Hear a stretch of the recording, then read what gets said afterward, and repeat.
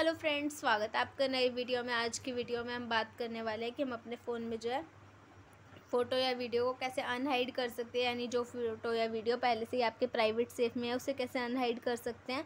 तो चलिए वीडियो को शुरू करते हैं। सबसे पहले अगर आप हमारे चैनल पर नए हैं तो चैनल को सब्सक्राइब और वीडियो को लाइक करना ना भूलें। जैसे कि आप देख ही रहे हमारे पास यहाँ है ओप्पो का फ़ोन है तो आपको ऊपर स्क्रॉल करना है और आपको इस तरीके के आइकन दिख जाएँगे। आपको यहाँ जाना होगा फाइल्स के आइकन पे। आप यहाँ बहुत सारे ऑप्शन देख रहे होंगे तो आपको ऊपर स्क्रॉल करना है और यहाँ जाना होगा सेफ़ फोल्डर पर। उसके बाद अपने सेफ़ फोल्डर का जो लोग है, आपको वो डालना है।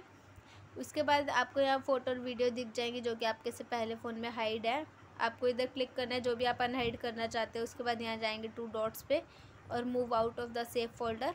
और वन फ़ाइल मूव का ऑप्शन आपको दिख जाएगा। आप देख सकते हैं इस तरीके से ये फ़ोटो जो थी, पहले से हाइड थी, वो अनहाइड हो जाएगी। तो उम्मीद है फ्रेंड आपको वीडियो पसंद आई होगी। वीडियो पसंद आई है तो चैनल को सब्सक्राइब और वीडियो को लाइक करना ना भूलें। मिलते हैं नेक्स्ट वीडियो में। तब तक के लिए बाय बाय।